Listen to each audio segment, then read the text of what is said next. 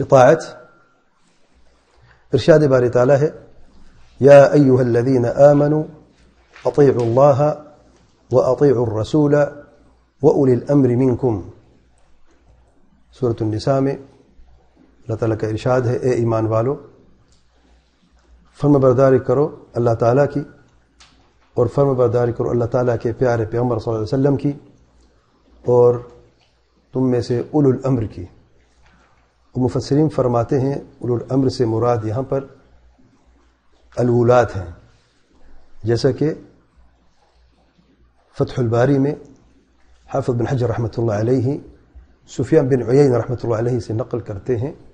कि उन्होंने इमाम जैद बिन असलम से सवाल किया और जैद बिन असलम रहमतुल्लाह अलैहि मरूफ ताबिई मुफसर क़ुरान है इस आयत करीमा से उलुल अम्र इस आयत करीमा में उलुल अम्र से क्या मुराद है इमाम जैद बिन असलम रहमतुल्लाह अलैहि फरमाते हैं हम अलवला वो पुराने वक्त हैं और शेख हुसैन बितम रहमतुल्लाह अलैहि अलहिस्बा में फरमाते हैं उलुल अम्र से मुराद हुक्मरान है और उलमा है और तफसीर क़ुरतुमे क़ुरतुमे में भी सैदन अब्दुल्ला बिन अब्बास और अनहुमा और इमाम मुजाहिद से भी यह कौल मौजूद है कि इससे मुराद उलमा है और दीगर उलमा ने भी यही फरमाया है कि इससे मुराद हाकिम वक्त है और उलमा है अलगर्ज तो उलमर में सर फहरिस्त हुक्मरान है साहब इकतदार है अतायत की दूसरी दलील अल्लाह ताला के प्यारे पैगम्बर सल्लल्लाहु अलैहि वसल्लम फरमाते हैं السمع والطاعة على المرء المسلم فيما أحب وكره ما لم يؤمر بمعصية فإذا أمر بمعصية فلا سمع ولا طاعة رواه البخاري सही बुखारी में अल्लाह ताला के प्यारे पैगंबर सल्लल्लाहु अलैहि वसल्लम फरमाते हैं फर्मा बरदारी हर मुसलमान पर फ़र्ज़ है किसकी फर्मा बरदारी है ये किसकी समय और ताकत है हुक्मरान वक्त की फ़ीम अहब व करीहा हर हालत में जिसमें वो पसंद करते या ना पसंद करता है मालम उम्र बिमासिया लिए है कि उसे नाफरमानी का हुक्म दिया मासीत का हुक्म दिया जाए फ़ैदा उम्र भी मासीतिन बस अगर उसे हुक्म दिया जाए मासीत का अल्लाह तला नाफरमानी का फ़ला सम वलाता फिर उसे कोई फर्मा बरदारी नहीं है यानी उलमा इस हदीत की शरह में यह फरमाते हैं इससे मुराद यह हरगिज़ नहीं है कि कि मुकम्मल तौर पर اس حکمران کی کوئی فرما برداری نہیں ہے، بلکہ صرف اس جزئیے میں، اس جز میں، اس حصے میں جس میں نافرمانی کا حکم دیا گیا ہے، اس پر تو فرما برداری نہیں ہے، لیکن اس کی جو عام اطاعت سمع اور طاعت ہے، وہ باقی رہتی ہے۔ خوارج نے یہاں پر مخالفت کی ہے اور خوارج جو ہے، جیسا آگے بیان کروں گا میں سمع اور طاعت کو چھوڑ کر انہوں نے کوئی اور راستہ اختیار کیا ہے۔ تو اس سے یہ ثابت ہوا کہ حکمران وقت کی سمع اور طاعت مطلق نہیں ہے، اس کی قید ہے۔ کیا قید ہے؟ في غير معصية الله۔ اللہ تعالیٰ کی نافرمانی اگر ہے تو اس جزئیے میں جہاں پر نافرمانی کی بات ہو رہی ہے، یہاں پر ہم سمع طاعت نہیں کریں گے۔ ہاں مجبور کر دیتا ہے تو مجبوری کی بات الگ ہے۔ اگر مجبوری نہیں ہے تو پھر اس معصیت میں کوئی سمع طاعت نہیں ہے۔ تیسری دلیل اور اس میں ہم یہ بھی جانیں گے اس دلیل میں کہ کس حکمران کی فرما برداری واجب ہے۔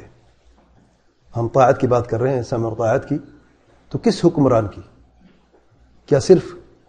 جو نیک ہو، جو بھلا انسان ہو اچھا انسان ہو، یا برے انسان کی بھی فرما برداری واجب ہوتی ہے؟ آئیے دیکھتے ہیں۔ اللہ تعالیٰ کے پیارے پیغمبر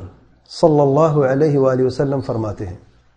यकून बदी इम्मतुन ला यहतदून बेहुदाया मेरे बाद ऐसे इमाम यानी हुक्मरान आएंगे जो मेरी हिदायत से हिदायत नहीं लेंगे वलास्तन्नू नबी सुन्नति और मेरी सुन्नत पर नहीं रहेंगे नहीं चलेंगे वसयकूम फ़ीहिम रिजाल और उनमें से ऐसे लोग भी होंगे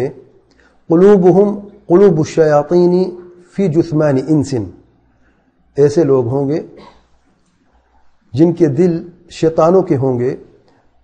इंसानी जिस्म में जिस्म इंसान के हैं और दिल शैतानों के हैं قال सदर हुदैफ हो अर्ज करते हैं कुल तो कैफ असना या रसूल अल्लाह अल्लाह ताला के प्यारे पैगंबर सल्लल्लाहु अलैहि वसल्लम میں اس وقت کیا کروں؟ اگر یہ وقت میں پالوں اور ایسے حکمران میری زندگی میں آ جائیں جن کے دل شیطانوں کے ہوں اور جسم انسانوں کا ہے اور جسم انسانوں کا ہو، تو اس وقت میں کیا کروں؟ ذرا غور کریں، جس شخص کا دل شیطان کا ہو اور جسم انسان کا ہو، اس سے کبھی کوئی خیر متوقع ہو سکتا ہے؟ کوئی بھلائی ہو سکتی ہے؟ سیدنا حذیفہ حریص ہیں اور اس حدیث کی ابتدا میں وہ خود فرماتے ہیں۔ لوگ سوال کرتے تھے، خیر کے تعلق سے میں سوال کرتا، شر کے تعلق سے تاکہ میں شر سے بچ سکوں۔ جب شر کی بات آئی ہے، وہ پھر بچنا بھی چاہتے ہیں شر سے۔ اور ہر مسلمان پر یہ فرض ہے کہ وہ شر، جہاں پر شر ہو، دین کے اعتبار سے خصوصی طور پر، تو اسے بچنا چاہیے تاکہ انسان کا دین محفوظ ہو۔ اگر دین محفوظ ہے، تو پھر خیر ہی خیر ہے۔ دنیا بھی، دنیا میں بھی خیر آپ کو نظر آئے گی۔ اگر دین ہی محفوظ نہ ہو، تو پھر باقی کیا ہے دنیا میں؟ پھر اس دنیا میں خیر ہی کیا ہے جس میں दीन महफूज ना हो काल कुल तो कैफ असना या रसूल अल्लाह सल्लल्लाहु अलैहि वसल्लम उस वक्त मैं क्या करूं अल्लाह ताला के प्यारे पैगम्बर वसल्लम इन अदरक का अगर मैं उस वक्त का इदराक करूं और मेरी जिंदगी में ही कोई ऐसा हुक्मरान आ जाए काला अल्लाह ताला के प्यारे पैगम्बर सल्लल्लाहु अलैहि वसल्लम फरमाते हैं तस्म व तुल अमीर सम और तायत करोगे فرما برداری کرو گے امیر کی یعنی حکمران کی، وَإِن ضُرِبَ ظَهْرُكَ وَأُخِذَ مَالُكَ فَاسْمَعْ وَأَطِعْ۔ اگرچہ یہ امیر، یہ حکمران تمہیں کوڑے مارے، یا اگر، اگرچہ تمہیں کوڑے مار دیے جائیں، پیٹھ پر کوڑے مار دیے جائیں، اور تمہارا مال چھین لیا جائے فاسمع وأطع تب بھی فرما برداری کرتے رہو۔ صحیح مسلم کی روایت ہے۔ اور اس حدیث میں واضح الفاظ ہیں اور یہ بھی ہمیں پیغام ملتا ہے، بنیادی پیغام اس حدیث کا یہی ہے کہ حکمران وقت کی سمع اور طاعت واجب ہے، اگرچہ یہ حکمران برا کیوں نہ ہو، ظالم کیوں نہ ہو اچھا ہے یا برا ہے ایسے حکمران کی فم برداری واجب ہے۔